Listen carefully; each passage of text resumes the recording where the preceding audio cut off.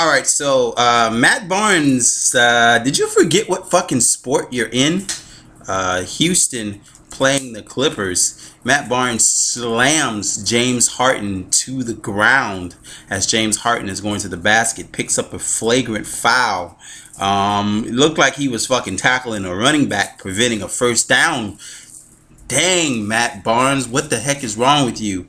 Um, Matt Barnes should probably be suspended for that because it doesn't even look like he was going for the ball the way that he slams um, James Harden on this play. Anyway, I'll leave the uh, link to the Vine down in the description so that you can check it out. I'll talk to you next time.